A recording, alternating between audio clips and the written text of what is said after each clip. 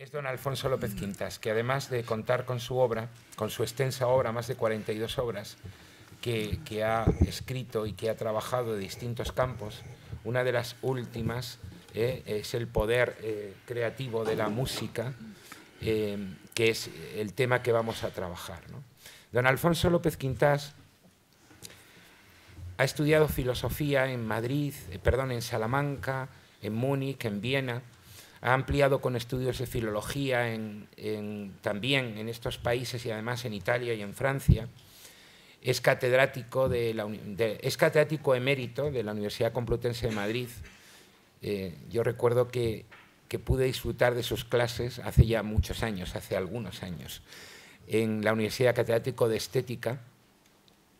Es miembro de la Real Academia de Ciencias Morales y Políticas de, de Madrid, es también miembro de la Academia de, Artes de Suiza, es autor de numerosas obras y sobre todo se ha dedicado toda su vida a liberarnos a los estudiantes de la, em, digamos, de la esclavitud de ser objetos para convertirnos en algo, para recuperar nuestra esencia y nuestro ser, para adquirir la libertad creativa que nos hace libres de verdad.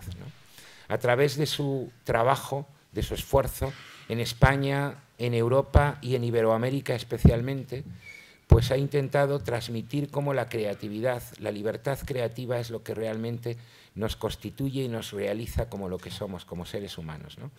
Y a través del arte, especialmente, y a través de la música, que ciertamente muchas veces lo hemos hablado, don Alfonso, eh, con, otros amigos, cómo eh, la música parece que se ha erradicado de, los estudios universitarios cuando es seguramente uno de las... Eh, de las eh, artes más sublimes que puede el hombre alcanzar, ¿no? que puede el hombre eh, desarrollar. Eh, para mí es un auténtico honor, espero que lo disfrutemos, que disfrutéis de este maestro vivo, de este maestro que hoy nos va a hablar de otro gran maestro que es Beethoven. Y a través de la música, de la novena sinfonía de Beethoven, vamos a descubrir la experiencia de creatividad que eso supone. Muchísimas gracias, don Alfonso, por estar con nosotros y con él os dejo. Gracias.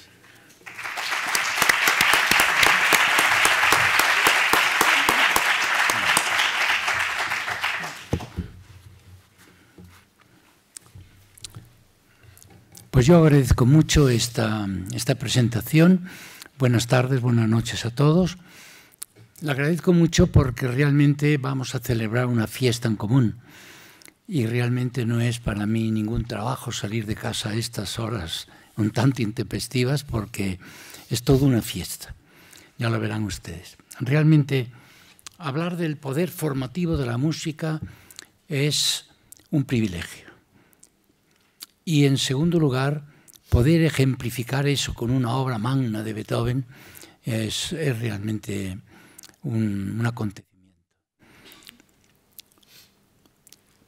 Quiero decirles que esta conferencia y todo lo que he escrito sobre el arte, igual que sobre la literatura, obedece a un designio mm, de mucho alcance. Yo llevo muchísimos años empeñado hacer ver cómo todas las áreas culturales pueden convertirse en fuentes de vida ética, en fuentes de formación humana, con tal de tener un método adecuado. Recordáis que en un gran escrito, el bueno de Pablo VI, que a mí siempre me, me despertó gran entusiasmo, decía que una gran tarea actual de la Iglesia Católica es evangelizar la cultura hasta sus últimas raíces. Evangelizar la cultura hasta sus últimas raíces. Y esto no es nada fácil. Pues bueno, es el intento que yo tengo desde hace años. Es decir, ver lo que es la, cultura profundamente. profundamente. Y entonces se ve que la cultura, la cultura, por ejemplo, el arte plástico, la música, qué sé yo, la literatura, todo lo que llamamos la gran cultura, pero también las matemáticas, la física, la, geografía, la historia, la filosofía. Todo lo que llamamos cultura puede convertirse y debe convertirse en una fuente de gran formación. Formación sólida, formación persuasiva, formación entretenida también, formación que eleva el espíritu, que da alas al espíritu, como decía el gran Platón. Ya verán ustedes, hoy como la música nos da alas, pero cuando se ve bien. En una ocasión le hacía un periodista a esta gran dama de la música, de la cultura y de la vida, que es Montserrat Caballé, le hacía una entrevista y la alababa mucho, como es lógico. Y ella, que es tan sencilla, cuando vio que la alababa tanto, le dijo, pero hombre, no me alabe tanto, porque en definitiva la música pues no es más que una, una, una bella diversión. Si hubiera podido hablar con ella en ese momento, le hubiera dicho, Montserrat, te admiro por muchas cosas, pero no precisamente por lo que acabas de decir. Porque la música es una nobilísima diversión. Todo lo que se diga es poco, pero es infinitamente más que eso. Infinitamente más que una diversión. La música lo vamos a ver ahora. La música nos forma profundamente, nos hace más inteligentes. La música madura nuestra inteligencia y nuestra personalidad. Pero vamos a verlo punto por punto dentro del poco tiempo que tengo. El plan es, primero hablaré del poder formativo de la música, luego de Beethoven y luego oímos el cuarto tiempo de la novena sinfonía. Todo eso tiene que ser en el marco de hora y media, o sea, a las nueve y media tenéis que iros, porque me parece que, entre otras cosas, peligra la cena si llegas tarde. Y no quiero tener esa responsabilidad sobre mis débiles hombros. Pues bien, fijaros, en una ocasión Pablo Casals, este grandísimo violonchelista genial, director de orquesta y compositor, dijo poco antes de morir en Puerto Rico estas palabras. La humanidad todavía no sabe lo que tiene por poseer el don de la música. La humanidad todavía no sabe lo que tiene al poseer el don de la música. Yo cuando oí esa frase no la entendí bien, me pareció enigmática pero dije, este hombre no dice las cosas por decir. Cuando lo dice es porque lo tiene muy pensado. Y me dediqué a reflexionar sobre eso años y años. Y el fruto de esa reflexión fue este libro que llamo El poder formativo de la música o estética musical que está publicado. Y esta conferencia de hoy va a ser también fruto de esa reflexión sobre esa frase de Pablo Casals. ¿Por qué la humanidad tiene que estar enormemente contenta y satisfecha de poseer el don de la música. Podía no existir la música. Pues todo lo que voy a decir a continuación es la respuesta a esta pregunta. En primer lugar, yo diría que la música nos forma muy profundamente cuando la sabemos oír, cuando la sabemos vivir. Es una pena que hoy se está cultivando en todo el mundo, pero también en España, la música llamada clásica, es decir, la música de gran calidad, no es que la otra música no pueda tener calidad, pero yo ahora me voy a referir solo a lo que llamamos música clásica. La música clásica tiene un poder enorme para formarnos. En primer lugar, porque nos hace sentir no solo nos da noticias, sino que nos hace sentir, vivir la importancia de la relación. Mira, si leéis libros de ciencia veréis que cada día en la ciencia, en la ciencia más profunda actual, las partículas elementales, en la categoría, el concepto de relación tiene cada día más importancia. Fíjate, hoy se dice, lo último de la materia no son trozos infinitamente pequeños de materia, son energías estructuradas. Por lo tanto, relacionadas, ¿ves?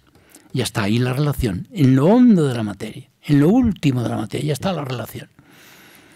Cuando era yo joven, hace ya unos años, tampoco siglos, aquí en la Complutense, ¿qué me decían? El hombre existe y luego, si quiere, se relaciona. Y hoy se dice, el hombre, si no se relaciona, no existe como persona. Hoy se nos dice, la mejor antropología, la mejor biología nos dice, el ser humano, ustedes y yo, es un ser de relación. Y se añade, y es un ser de encuentro. El que se encuentra, se encuentra con los obras de arte, con el paisaje, con las personas, con los valores, si es creyente con Dios. El que se encuentra se, se desarrolla en medida directamente proporcional. El ser humano es un ser de encuentro. Esto es enormemente importante. Pues miren, inmediatamente les digo, la música es toda ella relación. Claro, si hoy la relación es tan importante en todas las facetas, en todas las áreas de conocimiento, en todas. Hoy, por ejemplo, hay grandes filósofos que empiezan precisamente su sistema filosófico por el lenguaje, que es todo el interrelación. Y está muy bien empezado. Pues bien, la música es toda ella relación. ¿Cuándo empieza la música? Si yo doy tres golpes inconexos sobre la mesa, ahí no hay música. Pero si los ordeno, si los doy con ritmo, ahí empieza la música. Porque hay orden, ¿ven? Porque hay relación. Si yo digo do y luego fa, ahí no hay música. Pero si digo do, fa, do, sol, do, la, ahí hay música, porque hay un intervalo, ¿veis? La música empieza con los intervalos, no con las notas. Preguntarle a un niño, ¿de qué se compone la música? Te dicen, de notas. Y le digo, no, ¿cómo que no? No, se compone de intervalos. ¿Qué es el intervalo? Es el impulso que nos lleva de una nota a otra. Yo digo do, fa, ah, ese impulso que me lleva. ¿Veis la relación? En la base de la música está la relación. Ah, pero no solo está en la base, es que la música, cuando empezamos a vivirla, sobre todo si se interpreta, si uno sabe interpretar, pero si sabe escuchar creativamente también, en cuanto empieza a vivir la música, parece que se pone en contacto con el misterio más hondo de la realidad, porque la realidad es en sí misma interrelación. Y ya si queremos ir al nivel 4 que le llamo yo, que es el nivel religioso, ya vemos que los cristianos nos basamos en la devoción a la Trinidad, que es interrelación. Y hoy en la teología se cultiva muchísimo, como no podía ser menos, la relación, el concepto de gracia, una interrelación, la relación está en todo. Pero hay que llegar a tener una mirada profunda. Yo cada día hablo más de la mirada profunda. Llegar a tener una mirada profunda que sepa ver la densidad de las interrelaciones. Es que siempre se decía, la relación es un accidente. O sea, las cosas existen y luego se relacionan. Y hoy se sabe que son mucho más que un mero accidente. Las relaciones crean realidades sustantes. Un joven y una joven se quieren y se casan y se convierten de novios en esposos. ¿Qué significa ser esposos? ¿Es la suma de los novios? No. Es la integración, que es bien distinto. Integrar es muy importante. Integrar debiéramos aprenderlo desde niños, a integrar. Integrar significa unir de tal manera dos realidades que constituyen una distinta, originaria. Juan y Julia se casan, luego son esposos, y los esposos crean un entre, como diría Buber, ¿verdad? Un entre. Crean un espacio, crean lo que llamamos un hogar. ¿Y el hogar qué es? ¿La suma de uno y otro? No, es mucho más que la suma. Ustedes cantan una melodía, yo canto otra, y brota la armonía que fue como se descubrió, saben ustedes, la armonía, este maravilloso invento de la cultura universal, se, se descubrió por casualidad, medio de broma, porque los frailes, los monjes de los monasterios que había entre París y Bruselas, en ese cañón, ¿verdad? Pues a veces en los recreos, pues para distraerse, hacían juegos como este, decir, oye, tú canta esta melodía gregoriana a tal altura. Y yo canto la misma, pero a una altura, por ejemplo, de, de dos notas, una tercia, una tercera, ¿no? Y el otro que lo cante una quinta. A ver qué pasa. Cantamos la misma melodía a diferentes alturas. Y a ver qué pasa, y así a lo tonto, a lo tonto, descubrieron una de las maravillas más grandes de la cultura universal, que es la armonía musical. Porque vieron que al unir distintas melodías, se cantaban al mismo tiempo diversas notas. Y aquello producía un fenómeno nuevo para ellos, que era la armonía. Naturalmente, pues vinieron una serie de genios para que perfeccionaron eso hasta el día de hoy, que realmente es una maravilla. Decía el gran Mozart, que es el genio por excelencia de la música, decía él, las armonías es algo tan maravilloso, tan atractivo, me conmueve tanto, que es una maravilla que mucha gente no lo sepa, porque si no se acabaría la sociedad, porque nadie haría comida, nadie trabajaría al campo, nadie haría nada. Se colapsaría la sociedad sencillamente por oír armonías. Y es verdad, en buena. Cuando oigan a Mozart, por ejemplo, tengan atención, presten atención a las, a las armonías de Mozart y van a ver, por ejemplo, al final de Don Giovanni, que es, algo maravilloso. Pero eso viene por integrar. Se integran las melodías, no se suman. Se integran. Es como al tocar el piano, por ejemplo, se integra la sensibilidad con la razón, con la inteligencia, con la emoción, con la sensibilidad. todo integrado, no sumado, mucho más integrado. La música entonces te, te, forma muy profundamente porque te pone en relación con la relación y te la hace sentir. Esto es muy importante, no solo conocer, es sentir, sentir lo que es la relación. Y la música te mete dentro de ese mundo enigmático y maravilloso. Bueno, en segundo lugar diríamos que la música nos enseña a integrar. Si yo fuera director de un colegio pequeño, de un colegio infantil, sería lo primero que le diría a los profesores, enseñarles a integrar. Así, con ejemplos pequeñitos. Integrar sensibilidad con inteligencia, integrar instintos con razón, instintos con ideales, integrar. Eso es fabuloso. Y eso es importantísimo para la formación. Y eso la música te lo enseña. Constantemente estamos integrando. Por ejemplo, si ustedes oyen, pongamos la Pasión según San Mateo de, Bajo, u otras obras más sencillas pero logradas. Ustedes, si saben, en conocen la música, saben que están integrando siete niveles distintos. Siete niveles. Uno, los, los sonidos aparte unos de otros. Segundo nivel, los sonidos estructurados entre sí. Tercero, los sonidos estructurados entre sí por unas formas musicales. Cuarto, los sonidos estructurados entre sí y expresando una serie de, de emociones humanas, que sé hasta siete. Y todavía se podían añadir más. Y lo importante en la música es oírlos todos juntos, pero todos vibrando unos con otros. Es decir, el material el sonido, el sonido de cada, de cada instrumento cambia cuando se unen unos instrumentos con otros, es un sonido distinto. Todos ellos después cuando se unen con una forma musical adquieren un valor distinto. El valor, por ejemplo, del clarinete, que ya de por sí, por lo menos para mí, resulta muy agradable. Pero cuando lo toca un clarinetista para interpretar el concierto para orquesta y, y, clarinete de Mozart, por ejemplo, o de Weber o de Brahms, qué sé yo, el clarinete llega a su máxima gloria. ¿Saben por qué? Porque los sonidos no adquieren todo su valor cuando están solos. Eso se dice ahora en la música de vanguardia, pero no es cierto. No es cierto, se ha dicho con todos los respetos. Los sonidos cuando alcanzan todo su valor es cuando están vinculados con otros, ahí está la relación, cuando están en relación. Y si el que los relaciona se llama Mozart, o se llama Weber, o Brahms, ¿para qué te, para, para qué te cuento? Entonces que el sonido del, del, clarinete adquiere unas virtualidades fantásticas, pues se integra con otros, ¿ven? se integra. Bien, entonces ya dos cosas. Nos mete en el mundo de la relación, segundo nos enseña a integrar. Tercero, madura nuestra inteligencia, esto es muy importante. Es lo que en algunas revistas se dice, la música nos hace más inteligentes. Y se cuenta que se han, se han hecho experimentos con colegios, uno que cultivaba la música, otro que no. Y resultó que los que cultivaban la música parece que eran más inteligentes. Pero bueno, yo hablando en, otro en, en otros términos, así diríamos un poco más exactos, yo diría, la música lo que hace es que madura nuestra inteligencia.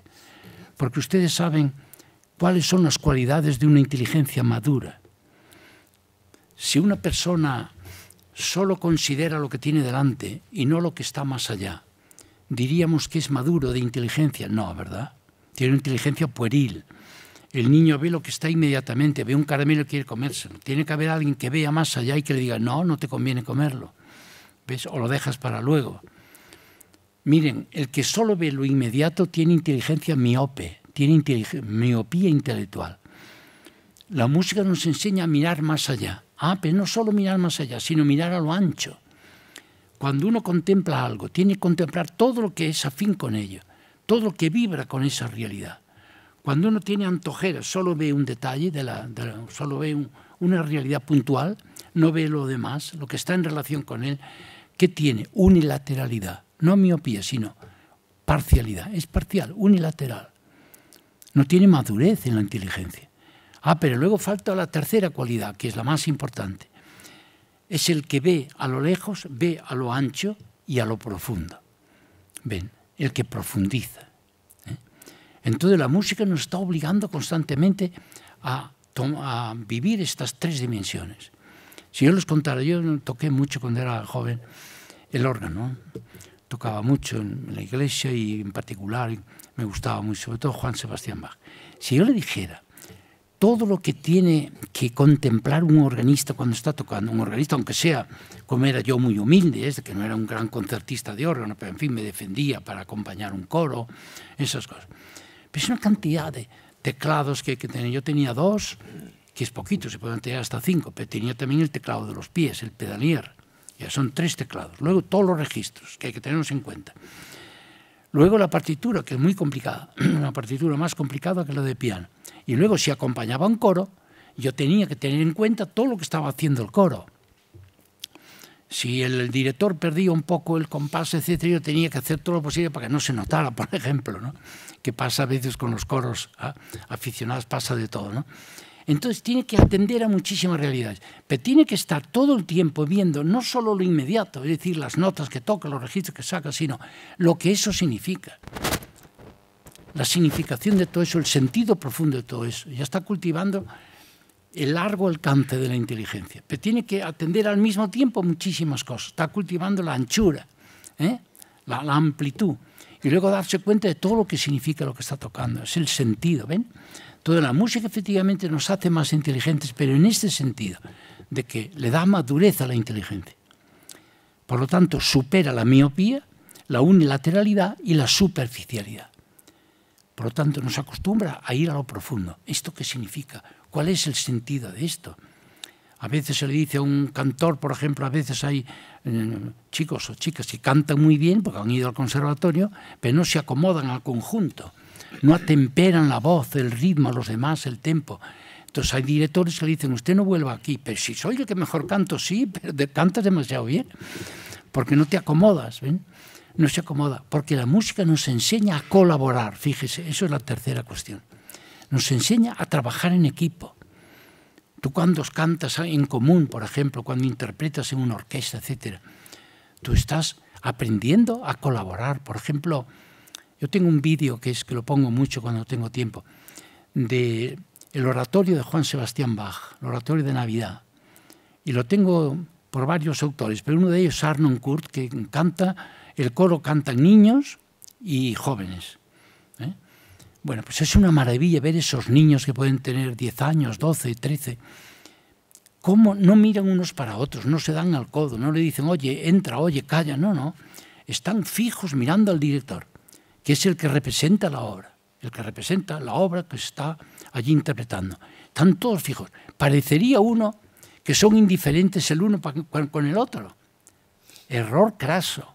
Ellos están atemperando su ritmo, su tempo, la voz, el volumen de su voz a todos los demás. Pero lo hacen, ¿saben por qué? Lo hacen porque están unidos a la obra. Todos se unen entre sí porque están unidos a la obra. De aquí se deriva algo muy importante. Cuando dos o más nos unimos a un gran valor, como pasa aquí, nos unimos entre nosotros aunque no lo pretendamos. Por lo tanto, aprendemos a colaborar, a formar una piña. Yo esta mañana estaba oyendo un, ratito una sonata fantástica, la Kreutzer, violín y piano de Beethoven. Eran dos personas con una personalidad enorme. ¿Eh? Una personalidad enorme las dos. Pero cuando tocaban parecía una sola persona. La unidad que tenían, cómo se integraban, cómo saben destacar cuando hay que destacar, saben, saben diríamos, em, ser discretos cuando hay que ser discreto, saben, en fin, pues, estar constantemente colaborando. Es una, es una escuela de vida la música, cuando se la, cuando se la entiende. Pero hay muchas más cosas. La música nos ejercita, por lo tanto, en el pensamiento relacional. Yo estoy convencido que lo mejor de la filosofía contemporánea es justamente esa filosofía que destaca la importancia de la relación. Bien, yo le estoy viendo ahora a ustedes, a muchos no tengo el gusto de conocerles, yo solo veo su figura, pero yo sé segurísimo que cada uno de ustedes abarca mucho más de lo que estoy viendo. Cada uno de ustedes es como un nudo de relaciones es amigo de unos amigos, hijo de unos padres X, tienen unos planes de vida, tienen unos proyectos. Cada uno de ustedes es inmensamente más de lo que... Y esto me pasa con los alumnos cuando los, los, conozco por primera vez en octubre, ¿no? Y los veo allí sentaditos con cara de expectativa el primer día de clase. Entonces, cada uno es muchísimo más de lo que se ve. Esto es el pensamiento relacional. Lo veo como un nudo de relaciones y esto infunde un inmenso respeto un inmenso respeto. Porque figúrense que un alumno sea, por ejemplo, displicente. Siempre puede haber alguien que se lleve el periódico a la clase o lo que sea, que haga alguna cosa inconveniente. Pero aunque me moleste, yo sigo respetando mucho al alumno porque digo, hombre, pero si es novio de una novia o viceversa, es hijo de estos padres que están deseando que termine la carrera. Mi asignatura era la última que hacían en la carrera. o sea, ¿lo ves relacionalmente? Pues mire, la música te enseña eso. Te enseña eso, a ver todo en plan relacional. Yo les pongo un, grano de trigo en la, en la palma de la mano y le digo, ¿qué es esto? Los chicos me dicen, ah, es un objeto porque tiene las condiciones del objeto, es delimitable, pesable, agarrable con la mano, etc. Y le digo, ¿de verdad? Claro, es un objeto. Le digo, todo objeto es producto de un, de un trabajo fabril, ¿no? Todo objeto. Por ejemplo, este reloj, este bolígrafo, son objetos. Son delimitables, pesables. Oh, el grano de trigo es igual. Dice, no, el grano de trigo, ¿dónde se produce? En ningún sitio de la tierra. Decimos, Ucrania produce mucho trigo. No, señor. ¿Cómo que no? No, no se produce. El trigo es fruto. No se dice que es fruto de la tierra. Fruto de la tierra y del trabajo del hombre. ¿Qué significa que es fruto? Apliquen el pensamiento relacional y verán cómo se les ensancha, se les ensancha la mente. Ustedes piensen, para ver este grano de trigo en la palma de mi mano, ¿qué fue necesario? Que un día en el campo brotara ese milagro que es una espiga. Brotara una espiga. O sea, que un día el labrador echó una, una semilla en la tierra, luego aquella tierra se cubrió, vino la nieve, vino la lluvia, vino todo el invierno, y cuando ya nos habíamos olvidado de que el sembrador había sembrado, aparecen unos diminutos tallitos. Yo me crié de pequeñito en una aldea, que es un privilegio porque estás en contacto con la naturaleza. Y yo cuando iba a misa, me iba por los campos y veía que un buen día aparecían unos tallitos. Yo me acercaba y digo, fíjate qué pequeñitos, iban hacía, abriéndose paso entre los terrones de la tierra. Y crecían, crecían. Luego venía el Padre Sol y doraba la mies. Y un día aparecía una espiga de trigo en el campo, o una mazorca de maíz, me da igual, ¿no? o un ramo de uvas. Y yo digo, ¿qué es, qué fue necesario para que ese tallo creciera, para que luego se desarrollara, para que luego madurara la mies. ¿Saben lo que fue necesario? Que hubiera una serie enorme de realidades, prácticamente diríamos el universo entero, que confluyeran a su tiempo para dar lugar a ese fruto maravilloso. Por ejemplo, una vez que el campesino deposita la, la semilla en la madre tierra, ¿qué es lo que hace? Espera. Bueno, primero el campesino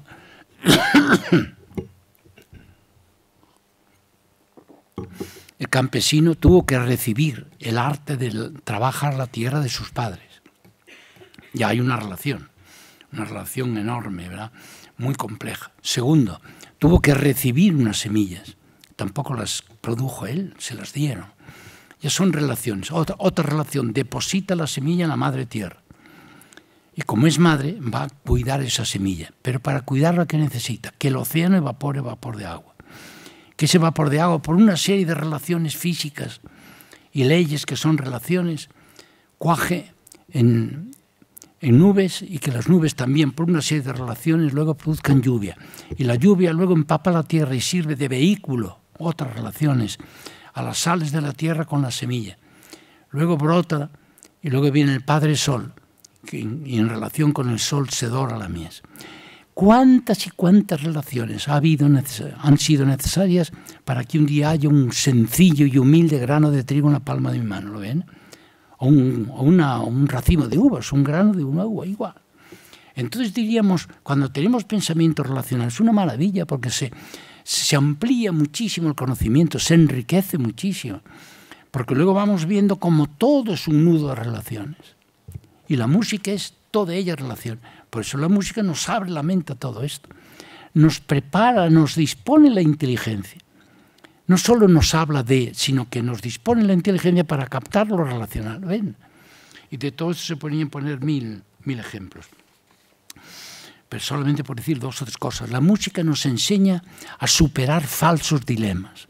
Miren, en la vida del hombre, sobre todo de los jóvenes, hay a veces muchos bloqueos bloqueos intelectuales y espirituales, bloqueos. Zubiri hablaba siempre de los nudos. Se me ha formado un nudo. Cuando se forma un nudo la mente es que no podía aquello. Bueno, ¿cómo se desbloquea esto? Por ejemplo, un bloqueo es pensar que libertad y norma se oponen siempre. Si un joven de verdad piensa esto y es coherente, se destruye a sí mismo, porque destruye la capacidad creativa. Esto es terrible, que tiene después unas consecuencias para la vida ética, para la vida religiosa, para toda la vida, la vida de convivencia. Porque fíjense ustedes, ¿de dónde me viene a mí la creatividad? Yo tengo unas potencias, pero sin posibilidades que me vengan dadas del exterior, no puedo ser creativo. ¿De dónde me vienen a mí? Me vienen de realidades externas que me ponen condiciones y me ponen, por lo tanto, normas. Si yo sé tocar un poquito el piano, un poquito el órgano, y si fuera mucho lo mismo, ¿no? Yo puedo ser creativo tocando el piano, claro, pero solo con mis potencias, es decir, mi capacidad de tocar, mi, agilidad de dedos, reflejos mentales, etc. Solo con potencias no puedo tocar. Yo necesito un piano que tiene una historia, que hizo falta genios que lo hubieran creado, hace falta partituras y hace falta genios que las hayan elaborado. Yo necesito de aquello que me rodea. Ah, pero la partitura me pone normas, ¿no? La partitura es una norma, me tiene que decir tocas así, no así, y me pone unas notas y no otras. Yo tengo que obedecer a la partitura. Usted imagínese que yo parto de la base, como parten hoy tantísimas personas, sobre todo jóvenes,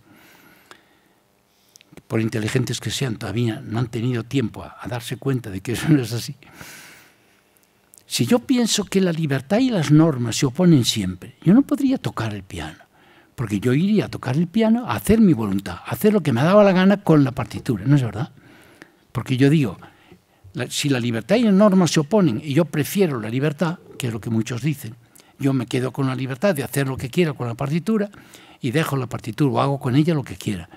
Oigan, con eso me incapacito a ser creativo, siquiera en grado mínimo, en cuanto a la música. ¿Por qué? Porque perdería, tendría unas grandes potencias, supongamos que fueran grandes para tocar, pero no tendría las posibilidades que me dan las partituras. En cambio, fíjense ustedes tal como lo veo yo. En el nivel 1, que es el nivel del manejo de cosas, yo tengo aquí unos papeles. Con esos papeles que son meros objetos, yo puedo hacer lo que quiera, ¿no es verdad? Puedo hacer lo que quiera. Por lo tanto, la libertad de maniobra ahí es absoluta para mí. Ah, pero si yo pinto unos, unos um, grabados unas notas, etcétera, y convierto el papel en una partitura y yo quiero tocarla, aunque yo sea el autor, yo tengo que obedecer la partitura y a lo que me manda y a lo que me indica. La partitura es mi norma, ¿no es verdad? Entonces yo tengo que renunciar a la libertad de maniobra, libertad de hacer lo que quiera con la partitura y obedecerle. Ahí miren lo que les digo. Cuanto más la obedezco, más libre me siento. Ah, pero aquí está el gran descubrimiento. Libre con otro tipo de libertad. Lo terrible, el bloqueo es cuando una persona cree que solo hay un tipo de libertad. Si ustedes se fijan, los que hablan de la libertad casi nunca matizan. Esto es un desastre a nivel mundial. Una vez un, ex, un presidente español en su día, el pobre ya se murió, un día solemnemente dijo en la televisión española, dijo, españoles, os he devuelto las libertades. Si yo hubiera podido hablar con él, hubiera dicho cuáles, porque hay muchas formas de libertad. Si me dice las libertades, no me dice nada. Hay que distinguir.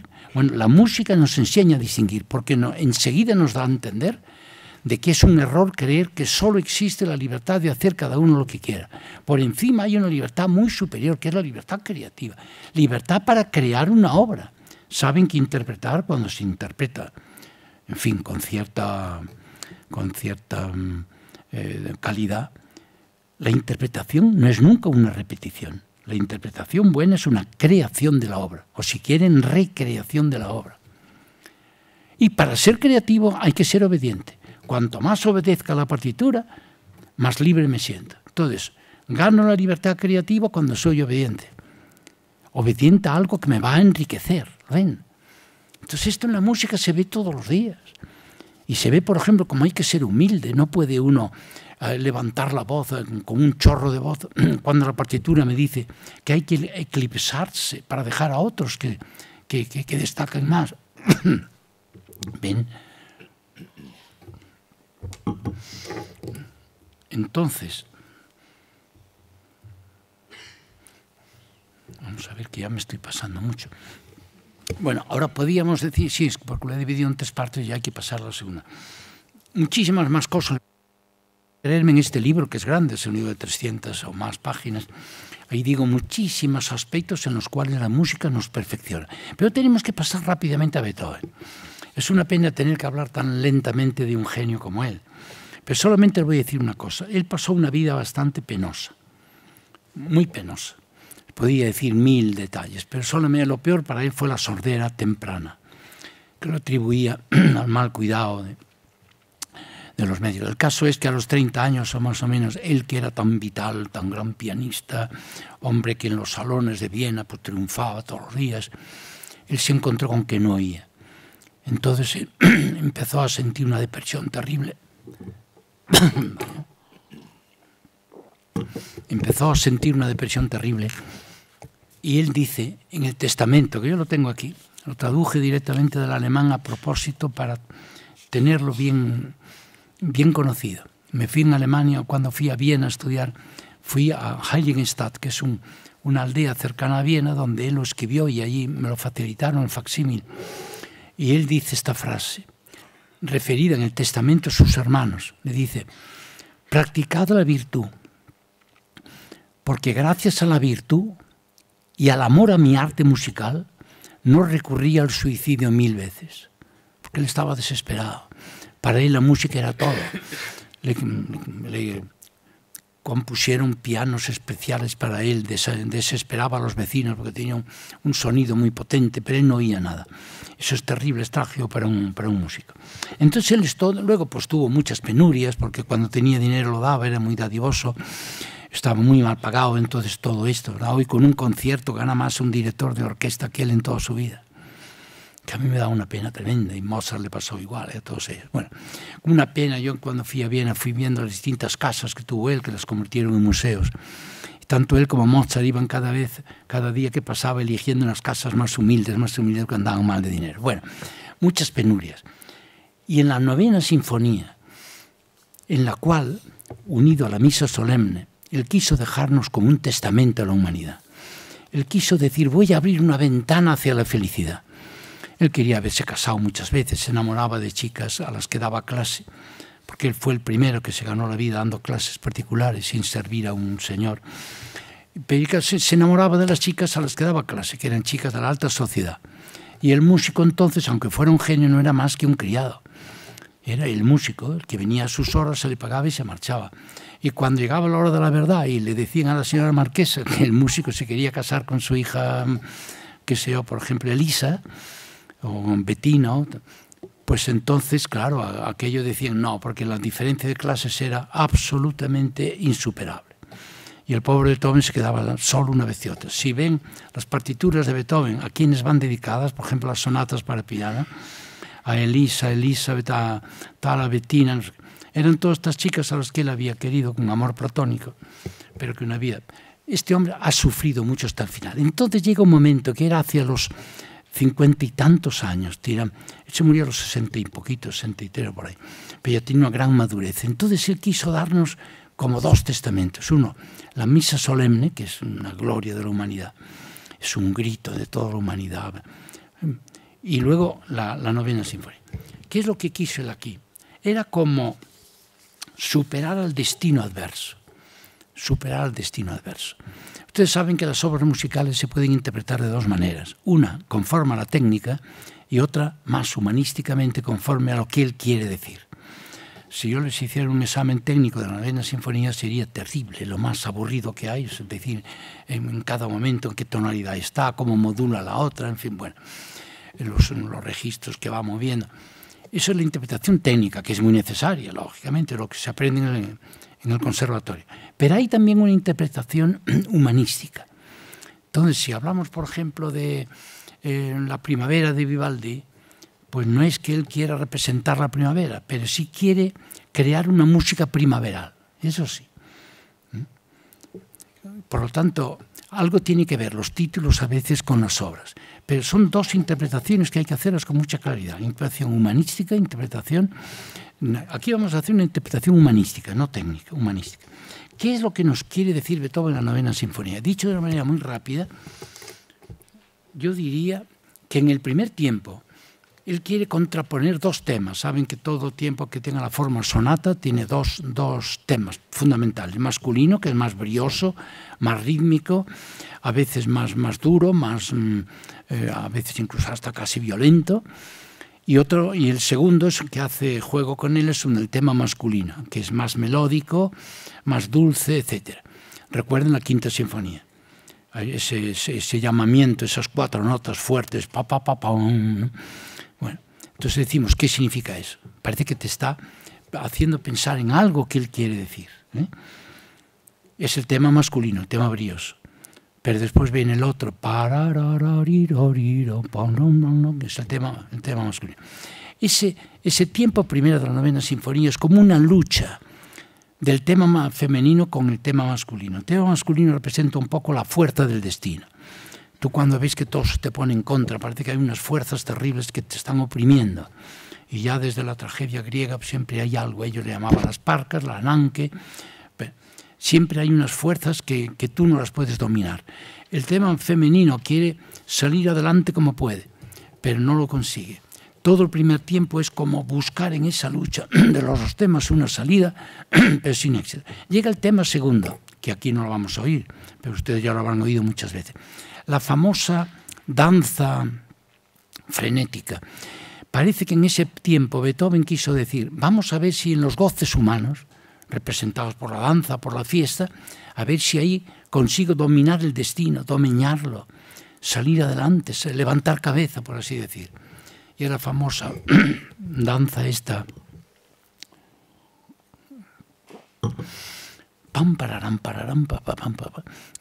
Luego viene el tercer tiempo. El tercer tiempo es un tiempo que se dice que es lo más bello de toda la música sinfónica de todos los tiempos, y lo creo bien. Solo tenía ya compuesto Beethoven y ahí lo, acomodó para esta parte.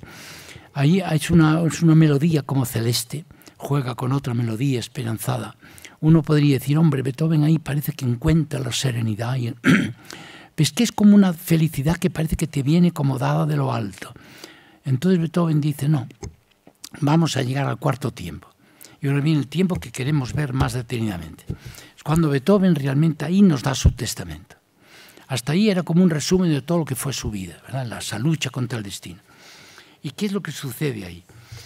Él entonces nos hace ver ya desde el principio suena una enorme disonancia en la orquesta que todavía hoy nos llama la atención. Figúrense hace dos siglos. La disonancia que es que chocan, diríamos así, unas notas con notas, eh, técnicamente se sabe cómo hay que hacerlo, y la sensación que te da es de un, podríamos decir, un estallido de, de mm, acritud, agrio, que podría representar muy bien la discordia entre los seres humanos. Entonces recuerden lo que era Europa por los años 1800 toda la lucha y después todas las guerras y los resultados de la Revolución Francesa, que nadie se sentía seguro. Entonces, fíjense, la orquesta y luego el coro van a representar aquí, para la interpretación humanística, que es la que voy a hacer, van a representar la humanidad. Este chillido, este chirrido tremendo de la orquesta, para Beethoven aquí representa la discordia de la humanidad. La humanidad está en discordia y entonces, ¿qué sucede? que los violonchelos y los contrabajos, que son los instrumentos que más se parecen a la voz humana, la voz humana del, hombre sobre todo, ellos dicen en la melodía que cantan, he dicho cantar, y es que realmente aquí el cantar y el tocar, Beethoven los identifica, para desesperación de los intérpretes porque sobre todo para las sopranos y para los, en general los tenores, etcétera, es muy difícil de, de, interpretar. Pero saben que lo hizo a propósito Beethoven. Lo hizo a propósito, ¿saben para qué? Ya se lo digo desde ahora, para representar la unidad que él andaba buscando entre los hombres, representar la unidad. Por lo tanto, fíjense, sin querer yo he dicho, los violonchelos cantan diciendo no nos gusta. Pero lo dicen tocando, ¿eh? pero es con una melodía que es casi como dijéramos, mira, esto no. Y lo dicen francamente, esto no. Saben que en música se habla de desinencias positivas, negativas, en fin, hay muchos medios para saber qué esto significa eso. Pero Lo sabemos muy, muy claramente porque después, cuando venga la voz humana, lo van a decir con palabras. Lo van a decir con palabras. O sea que esto está clarísimo. Los violonchelos y los contrabajos dicen no me gusta. Y entonces saben qué hace Beethoven, lo que nunca se había hecho. Hace sonar los ocho primeros compases, los cuatro primeros compases, si no me equivoco, del primer tiempo, que es cuando parece que hay como una alborada, ¿eh? que empieza ahí un murmullo, empieza a sonar pipim, pipim, pipim. Y entonces los violonchelos y los contrabajos vuelven a decir, no, esto no me gusta. Y entonces Beethoven dice, ah, pues voy a hacer sonar los primeros compases del segundo tiempo, el de la danza. Y los contrabajos y los violonchelos vienen a decir lo mismo, que no, eso no nos gusta. Y por fin, Beethoven toca, bueno, luego toca el tercer tiempo, dicen tampoco que tampoco les gusta. Pero ya aparece ahí un, un tema que lo que vamos a llamar después el tema básico del cuarto tiempo, en re mayor, que es un, una tonalidad siempre brillante y más alegre, un tema que llama la atención a la orquesta. Y luego llegamos, termina el tercer tiempo, ah, termina esa, esa parte, y luego los violonchelos vuelven a decir que tampoco eso les, les satisface, y Beethoven entonces, ya Beethoven, ah, en ese, en ese momento hay un, hay un pasaje que suena, que es ese Trararam, pam, pirorom. Y entonces los violonchelos dicen, eso sí ya me gusta. Eso, eso sí ya me gusta. Y entonces, fíjense en este momento que es muy importante para la interpretación de esta obra. Los violonchelos y los contrabajos se ponen a tocar al unísono. Al unísono quiere decir ellos solos y una sola nota, ¿eh? Al unísono, como se canta una canción así popular, cantan el tema fundamental de la obra, que Beethoven estuvo como 32 años estudiando, lo corregía, lo preparaba, que son 20 compases muy bien divididos, 4 y 4, 4 y 4 en bloques, ¿no? 4, 4, 4, 4, 4, 4. El famoso pararam, pam, pirarum. Esto se parece mucho a los líder que se cantan en las, en las iglesias alemanas eh, desde la Reforma, que tienen un brío interno muy fuerte, estos líderes. Y es, él limitó este, este estilo. Si ustedes van a oír cómo se canta en pianísimo, da la impresión de que la orquesta que representa a la humanidad, no lo olvidemos, está intentando un gesto de unidad. ¿Ven? Antes cada uno to tocaba lo que le daba gana por aquí y por allí, con un chirrido tremendo. Y de repente ahora están cantando lo mismo al unísono, para dar una impresión de unidad absoluta. ¿ven? Pero si se fijan, esto lo hace Karajan, que es el director de la interpretación que vamos a oír, si se fijan, la, la melodía cobra cada, cada vez más fuerza, cada vez más fuerza. Bueno, y entonces la orquesta, es decir, la humanidad, se da cuenta de que aquello marcha estupendamente, se entusiasma y hay un momento que parece que se desmadra la orquesta. Pero como la humanidad solemos volver a las andadas, vuelve otra vez el chirrido del principio, otra vez la disarmonía tremenda. Y Beethoven entonces se da cuenta de que no basta decirlo con los instrumentos, que hay que decirlo con voz humana y con palabras. Y por primera vez en la historia de la música, en una sinfonía entra la voz humana. Y aquí entonces un barítono, que tiene que ser siempre un barítono con voz muy potente, él las solas se enmudece la orquesta, es como la humanidad que dice, pues esto no tiene arreglo. Y entonces un barítono que representando lo mejor de la humanidad, a voz en grito diríamos, porque tiene que ser muy potente, dice dos versos que fue Beethoven mismo el que los compuso. No Schiller, como vendrá después. Schiller es el conjunto de la oda. Y en Beethoven dice allí, o oh Freunde, dice el barítono, o oh amigos, dice, nicht diese Töne, estos tonos no. Es decir, este tipo de música no. Sondan, sino, hagamos oír tonos más alegres y más serenos, Freudenfolly, más llenos de alegría. ¿eh?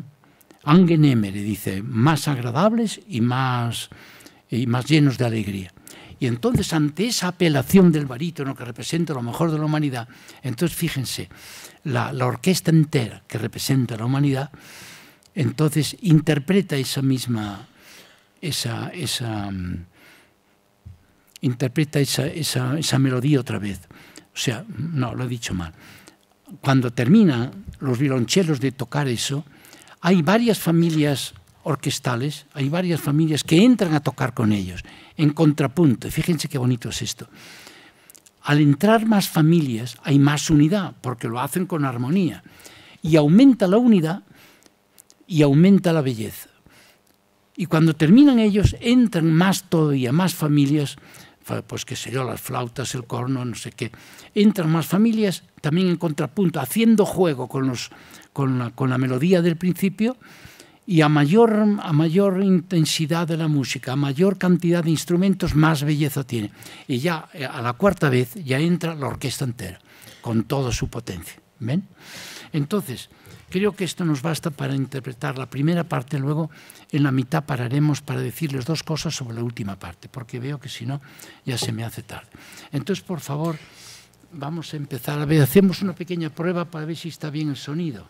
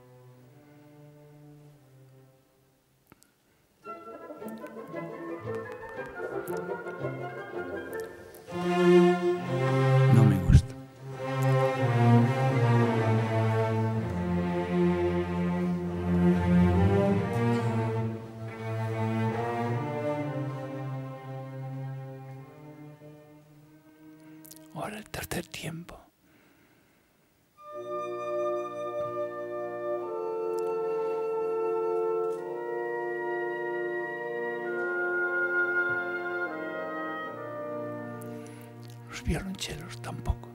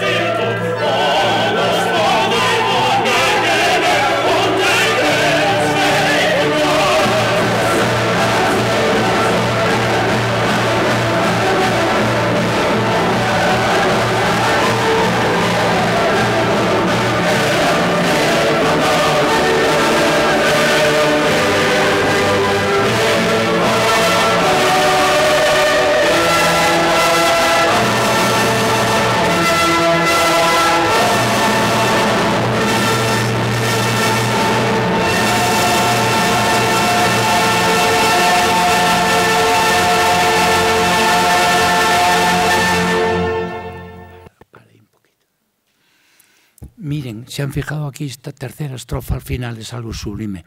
Cuando va subiendo la música diciendo, el querubín está ante Dios, en alemán, for Gott. Fíjense cómo al final es una inmensa alegría que llena el universo, pero él hace una pequeña modulación de la mayor a fa mayor y entonces se, con toda esa, fuerza que tiene la música se convierte en una serenidad enorme, yo diría cósmica. ¿no? Y esto es el primer momento, diríamos, sublime de la obra. Ahora empieza el tema de la naturaleza y Dios. Fíjense, aquí hay... No, el, cuarto, que es alegría, búsqueda de la hermandad. Esa es una, una imagen preciosa de Schiller, el poeta, que dice que a los que van buscando la unidad los ve como soles que van corriendo por el universo, recorriendo una carrera de héroes hacia la victoria. Es una imagen poética preciosa. Entonces fíjense cómo dice, recorred hermanos vuestro camino alegremente como el héroe va hacia la victoria. Y verán cómo Beethoven esto lo expresa con una, una, fuerza enorme. Y ya aquí en este, en este momento es cuando eh, llega un momento muy, muy fuerte de, de, hablando de la hermandad. Fíjense, siempre que Beethoven dice el verso de Schiller, todos los hombres serán hermanos, alle Menschen werden Brüder, le da a la música una ternura enorme. Y lo repite es lo que más repite. Y el último verso de toda la obra será ese precisamente. Todos los hombres serán hermanos. Pues bien, ahora ya en la quinta estrofa es el abrazo y el beso al mundo entero, para que quede claro lo que quería Beethoven. No era crear un himno a la alegría, como se dice de ordinario. Él va a crear un himno a la solidaridad de los hombres entre sí y de todos con el Creador. ¿Ven? Por eso aquí lo que hace ahora es mandar el coro y la orquesta, representando la humanidad, un beso al mundo entero. Y verán, yo lo voy a representar un poco con los brazos, como la orquesta va, dando como un abrazo cósmico a todo el universo. Es uno de los momentos de la música universal más logrados, este. Y ahí se representa, se representa la fuerza. Entonces Beethoven dice abiertamente, hermanos, Brüder, y sobre la bóveda estrellada tiene que habitar un Padre amoroso, porque la solidaridad tiene que ser entre los hombres y todos con el Creador, ¿ven? Y ahora veremos cómo la, la alegría que luego nos inunda en esta obra es el fruto de esa hermandad. Por lo tanto, yo diría, lo que quiere Beethoven aquí es crear un himno la hermandad universal, la fraternidad universal, donde los hombres son hermanos, hermanos porque tienen un padre común, y luego eso lo dice con una alegría realmente contagiosa, una alegría que, te, llena, que te llena el espíritu.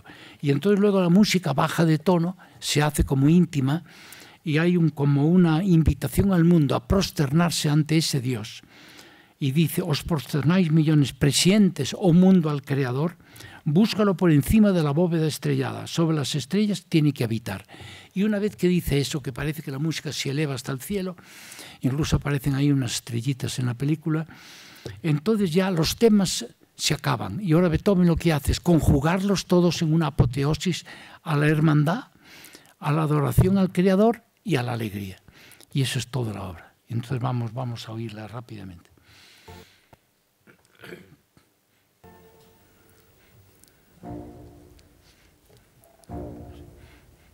Verán que empieza de manera muy sencilla, pero rápidamente llega a un clima enorme, de potencia expresiva.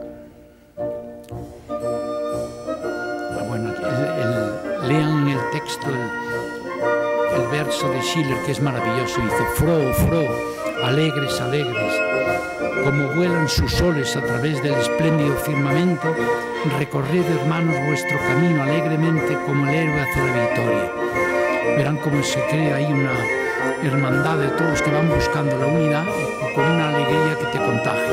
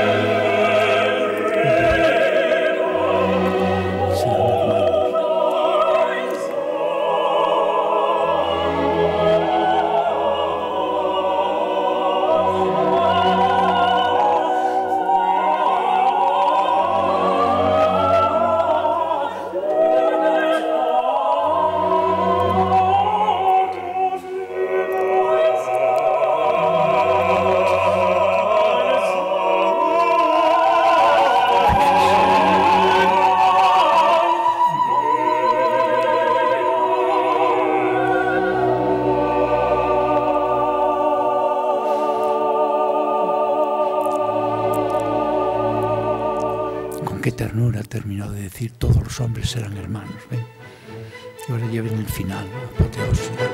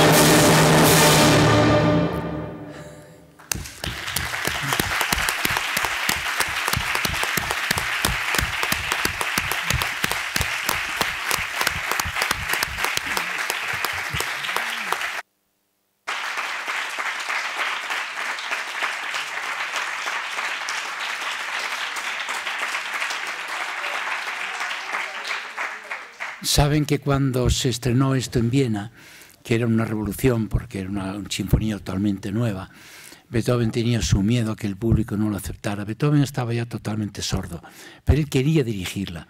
Entonces le dejaron dirigirla, pero pusieron al lado a uno que oía bien, otro director que llevara el compás. Pero Beethoven decía cosas. Y cuando termina, el pueblo entero de pie, agitando pañuelos, gritando, que un entusiasmo enorme, y Beethoven no se enteraba porque estaba sordo. Y entonces la soprano le tomó así cariñosamente de la mano y le indicó que se volviera. Entonces Beethoven se volvió y vio aquel espectáculo realmente fabuloso. Pero el pobre ni, ni, lo festejó, se marchó a casa. En fin, bueno, una, una, cosa terrible. Al día siguiente fueron los amigos para festejarlo con él y estaba conmigo Gabán, que había llevado el día anterior. Así se había echado sobre la cama y así se había dormido y así apareció por la mañana un hombre que nos dio estas obras y que fue una pena por todo lo que sufrió. Pero bueno, nosotros hoy lo festejamos con él. Ustedes imagínense una persona, por ejemplo un joven, que le explican esto y que le dicen que lo que quiso Beethoven aquí, en un momento terrible de su vida, porque ya empezaba a padecer del hígado y se sentía mal, que nos quiere dar este testamento, que unido a la misa solemne es algo inigualable. Bueno, entonces fíjense que él nos habla de que envía un beso a la humanidad, un abrazo al mundo entero, nos habla de hermanos, eh, todos los hombres tienen que ser hermanos. Y lo dice con una música tan bella que te sobrecoge, de, de pura belleza. ¿no? Claro, esa unión entre, o sea, esa idea de lo bella que es la hermandad, porque es lo que quiso hacer Beethoven. Es como Mozart, por ejemplo, en la, la flauta mágica famosa, cuando nos pone dos chicos que se quieren, Tamino y Pamina, que se quieren, pero tienen que pasar por pruebas para purificar al amor. Y entonces Beethoven Mozart lo que nos quiso decir es, si el amor humano, el amor de chico y chica, por ejemplo, se purifica y es auténtico amor, es tan bello como esta música que os voy a, a dar. una música de una belleza sublime. Y eso lo hizo Mozart con toda intención, para hacer ver que el amor humano es así de bello, porque él quedó un poco disgustado con su genial ópera, Don Giovanni, porque triunfaba la virtud, pero triunfaba de manera muy adusta, muy seriota. Acababa muriendo Don Juan, ¿no? que en el nivel 1 era un triunfador. Y él entonces quiso hacer otra obra donde realmente la virtud resplandeciera con una enorme belleza y que fuera muy atractiva. Por eso hizo um, las bodas de Figaro y después sobre todo la flota magia. Bueno, pues aquí Beethoven lo mismo. Lo que quiere ante toda la, la, podríamos decir, el caos que era la humanidad en su tiempo, y aplíquenlo ahora si quieren también, ante esa discordia que había. Él entonces dice, pues hay que tirar por elevación. Les voy a decir, como ideal de la vida, amarnos unos a otros. Repite hasta ocho veces. Yo los fui contando en la partitura. alle Menschen werden Brüder, todos los hombres serán hermanos. Y lo dice con una inmensa ternura. Y ahora al final con esa contundencia, porque lo último que cantaron fue otra vez esto, pero ya lo cantaron con una enorme contundencia, todos los hombres serán hermanos. Y luego cae toda la orquesta y el coro en un acorde de seco, ¿verdad? Que es realmente impresionante. Bueno,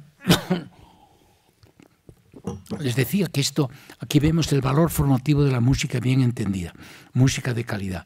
un joven, por ejemplo, que oiga esto, yo creo que no se le olvida en la vida, esa correlación entre la hermandad y la, y la belleza. Y quien dice la belleza, dice la bondad, dice la justicia, todos los trascendentales que van todos unidos. Bueno, queridos amigos, creo que fue una fiesta, pues lo quería celebrarlo con ustedes, yo les deseo todo el bien del mundo y como ya estamos cerca, pues les deseo muy feliz Adviento y que después culminen una Navidad que sea tan así de alegre como esto. Muchas gracias.